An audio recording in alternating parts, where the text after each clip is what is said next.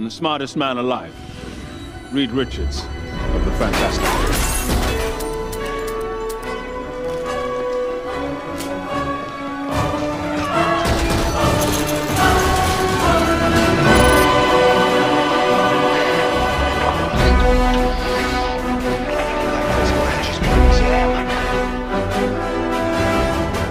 Thank you.